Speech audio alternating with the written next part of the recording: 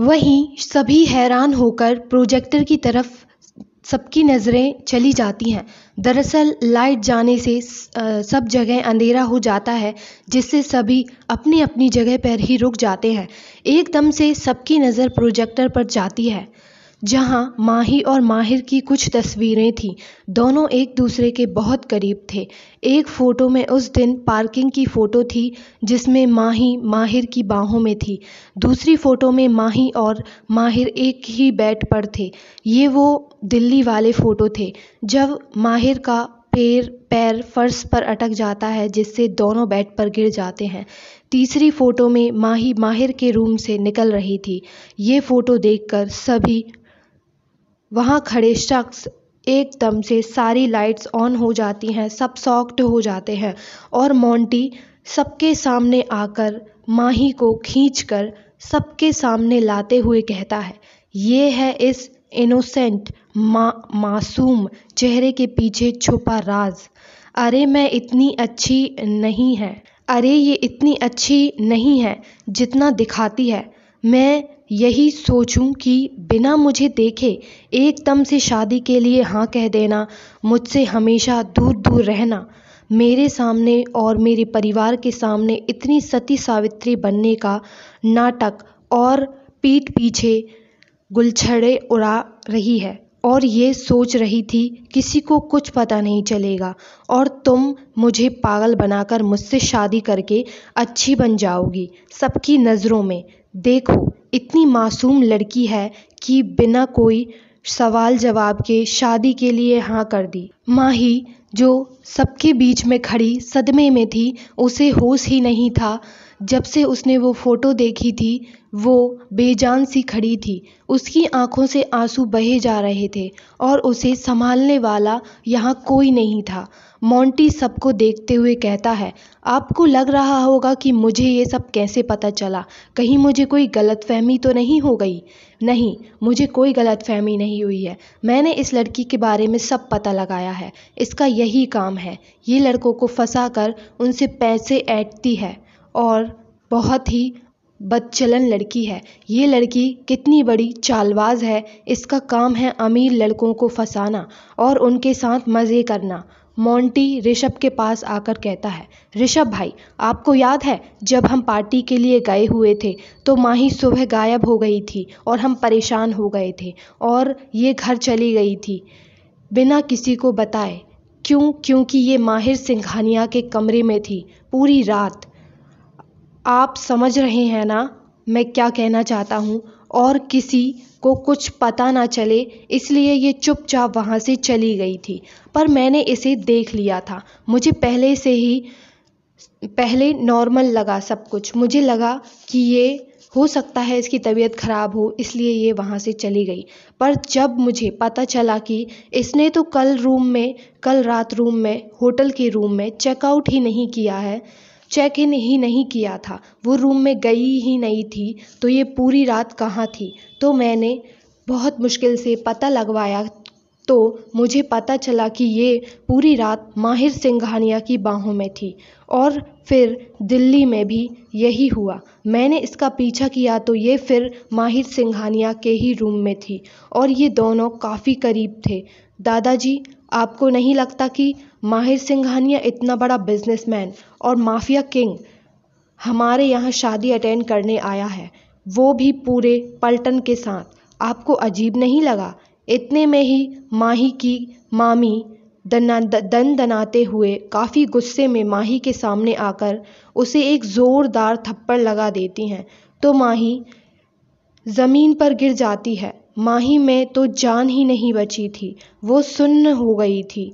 वो सुन्न हो चुकी थी। उसे कुछ भी सुनाई नहीं दे रहा था। दीपिका जी कहती हैं, अरे, मुझे तो पहले से ही इसके चाल चलन लक्षण ठीक नहीं लगे थे।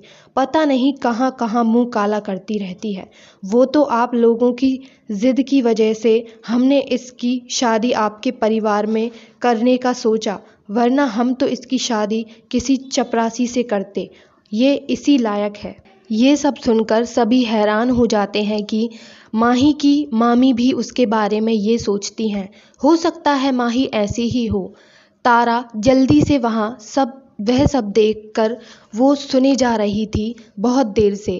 तारा भागकर माही के पास आकर उसे गले लगाकर उसे संभालते हुए कहती है, लगा लिया आपने इल्ज़ाम, निकाल ली अपनी भड़ास, दिल की, और ज़रा इसकी हालत तो देखिए, कुछ तो शर्म कीजिए। इस मासूम पर माँ, आप तो इसे बचपन से जानती हैं ना? दीपिका जी चिल्लाकर कहती हैं, अरे कौन सा जादू किया है इस कलमुही ने तुझ पर? कभी तुझे इसकी गलती नज़र आती ही नहीं है। ना जाने कहाँ कहाँ मुँह मारती फिरती है। तारा गुस्से में कहती है, बस, बहुत हो गया। मैं अब एक शब्द नहीं सुनने वाली। वहीं सब लोग माही को अजीब नज़रों से देखे जा रहे थे। वहीं माही के आँसू थमने का नाम ही नहीं ले रहे थे। वो बस बेजान सी खड़ी थी। दीपिका जी गुस्से में माही को खींचकर बोलती हैं, निकल जा यहाँ से। तुझे तो डूब मरना चाहिए और धक्का मार देती हैं, जिससे माही ज़मीन पर गिरने वाली होती है। माही गिरने ही वाली होती है कि दो मज़बूत हाथ उसे थाम लेते हैं।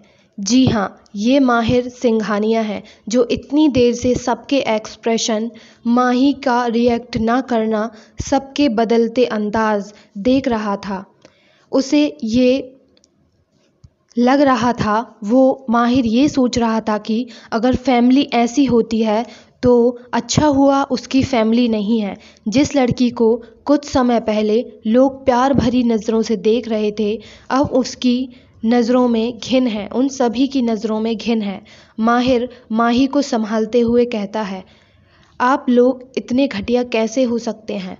माही, तुम ठीक तो हो ना? वहीं देव वेदिक मोहित भी आकर कहते हैं, माही, तुम्हें चोट तो नहीं लगी ना? माहिर सबको घूर कर देखता है। तो किसी की कुछ और कहने की हिम्मत ही नहीं होती। तो कहाँ थे हम? बाकी मेरे वो बोलते ही कोई कुछ नहीं बोल, बोलेगा। आपको जो कुछ भी बोलना है अभी बोल सकते हैं। अगर मैंने बोलना स्टार्ट किया तो उसके बाद कोई नहीं बोल पाएगा। माहिर काफ़ी गुस्से में था। उसका ये रूप देखकर सभी डर गए थे। सब अपना अपना सर झुका लेते हैं। फिर माहिर अपने गार्ड को इशारा करके बुलाता है। तो पूरे हॉल में ब्लैक कलर के कपड़ों में गार्ड्स ही गार्ड्स थे। सब सौ चौंक जाते हैं। इतने गार्ड्स को वहाँ देखकर माहिर फिर लाइट ऑफ़ करवा देता है और फिर से स्क्रीन पर कुछ फ़ोटो चलने लगती है, जिसमें मोंटी अलग अलग लड़कियों के साथ काफ़ी क्लोज़ है। कुछ तस्वीरों में मोंटी ड्रग्स लेते दिख रहा है। कुछ तस्वीरों में मोंटी के बहुत ही काले कारनामे हैं। तो मोंटी सकपका जाता है। वो फ़ोटो देखकर मोंटी के घर वाले काफ़ी ज़्यादा हैरान होते हैं, क्योंकि मोंटी घर वालों के सामने हमेशा एक अच्छा संस्कारी इंसान था। पर उसका असली चेहरा तो वो लड़कियाँ जानती थीं, जिन, जिन्हों, जिनके साथ मोंटी ने गलत किया है। ये था मोंटी के दादाजी गुस्से, बहुत ज़्यादा गुस्सा आता है उन्हें। उन्हें नहीं पता था कि उनका एक पोता इतना ज़्यादा बिगड़ैल निकलेगा। वो कुछ कहते, इससे पहले ही माहिर की कड़क आवाज़ सबके कानों में पड़ती है। हाँ तो क्या कहा था मोंटी ने? मेरे और माही के बीच रिश्ता है। हाँ तो है रिश्ता, इंसानियत का। एक दिन मैंने इन्हें गिरने से बचाया था और एक दिन इन्होंने मेरी जान बचाई और मुझे एक्सप्लेन करने की ज़रूरत बिल्कुल भी नहीं है। मैं किसी को भी एक्सप्लेन नहीं करना चाहता कि हमारा क्या रिश्ता है। किसी को भी कि कौन कितना सच्चा है और कौन कितना झूठा।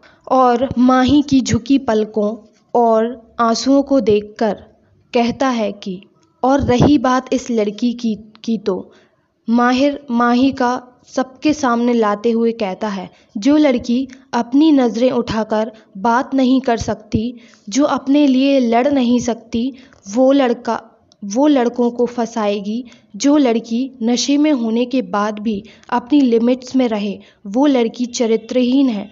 जो लड़की आँख बंद करके अपने परिवार पर, दूसरों पर भरोसा कर ले, वो लड़की चालबाज है। वाह भाई वाह!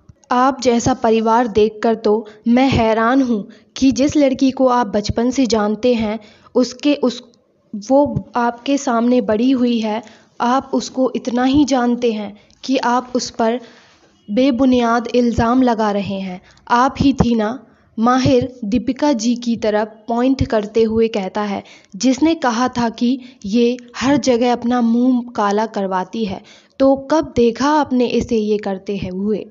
किसी दो दिन के आए लड़के की कहानी सुनकर अपनी बेटी जैसी लड़की से ये सब कहते हुए आपको ज़रा भी शर्म नहीं आई? आपको इतना ही जान, आपने इतना ही जान पाया है माही जी को। आप माही को मोंटी बीच में बोलकर कहता है, तू तो बहुत अच्छे से जानता है ना? इसे आखिर इसके साथ मोंटी इतना ही कहता है कि माहिर अपनी बंदूक उसके मुँह में घुसा देता है। माहिर एकदम से अपनी बंदूक, अपनी जेब में से निकालकर मोंटी के मुँह में घुसा देता है और कहता है, और क्या बोला तू? आज तेरा आखिरी दिन है यहाँ इस धरती पर। वैसे भी तेरी ज़रूरत नहीं है यहाँ। वहीं सभी माहिर के गुस्से से डर जाते हैं। माहिर काफ़ी ज़्यादा गुस्से में था। उसकी आँखें पूरी तरह लाल हो चुकी थी। माही को, माही तो डर कर तारा के पीछे छिप जाती है। दीपिका जी चिल्लाकर कहती हैं, बहुत हुआ तुम्हारी ये गुंडागर्दी। हो गए तुम बहुत बड़े बिजनेसमैन पर तुम्हारा कोई रिश्ता नहीं है इसके साथ। माही की तरफ़ पॉइंट करके कहती हैं, इसके साथ इसकी इतनी परवाह क्यों? बताओ ज़रा, और क्या रिश्ता है तुम्हारा इसके साथ? मोंटी गलत है तो। बताओ ना, क्या कर रहे थे तुम दोनों एक रूम में? बताओ हमें। और गलत फहमी एक बार होती है बार बार नहीं, हमें भी ज़रा बताओ। हमें भी पता चले कि वहाँ क्या हो रहा था। वहीं कब से शांत खड़े देव वेदिक मोहित का गुस्सा उफान मार जाता है और देव का गुस्सा बहुत ज़्यादा बढ़ जाता है। तो वो दीपिका जी पर अपने गार्ड से एक बंदूक लेकर तान कर कहता है, ओ आंटी जी, मैं बताता हूँ क्या हुआ था। तो दीपिका जी की जान हलक में आ जाती है। देव वेदिक मोहित इतनी देर से ये सब होते हुए देख रहे थे। उनका गुस्सा सातवें आसमान पर था। माहिर गुस्से में सबको घूरते हुए माही का हाथ पकड़कर मंडप में ले जाता है। सब हैरान होकर देखने लगते हैं दोनों को और मंडप में जाकर अग, अग्नि प्रज्वलित करके माही के साथ फेरे लेने लगता है। माही तो बेजान सी उसे कुछ समझ ही नहीं आ रहा था। कि उसके साथ क्या हो रहा है। देव वेदिक मोहित तीनों के चेहरे खिल जाते हैं। तीनों हवा में फायर करते हैं। आप सोच रहे होंगे, एकदम से गन कहाँ से आ गई? और अरे भाई, हमारा हीरो माफिया है तो गन तो बनती है ना?